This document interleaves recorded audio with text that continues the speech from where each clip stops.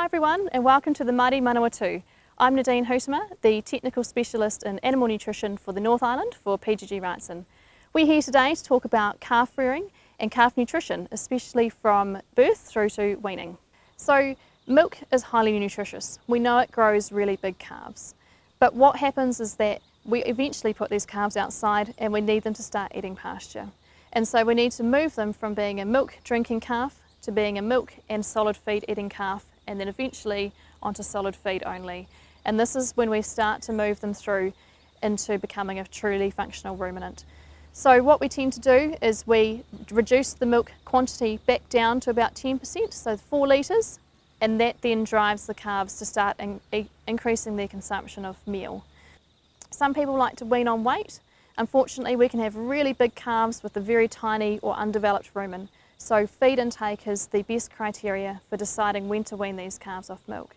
So that's one to two kilos of 20% meal for three consecutive days. Once the calves have been weaned off milk, we can then reduce the meal back to a 16% crude protein meal. We can't feed that 16% crude protein meal to these young calves indoors because there's simply not enough protein in it. But once they're outside and weaned off milk, then we can switch them over to a 16% crude protein calf meal.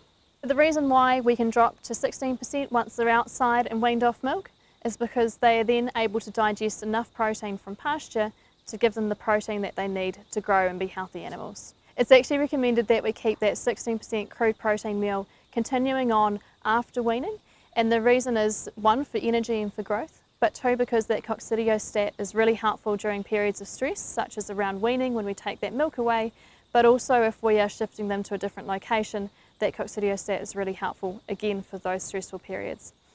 If you are taking calves to the runoff, it's recommended that you bring some meal to the runoff so that we can ease that transition and that change of environment and make life as simple as possible for these young calves.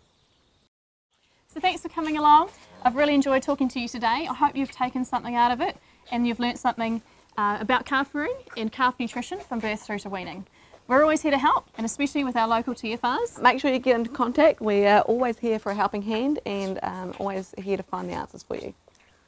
Thanks.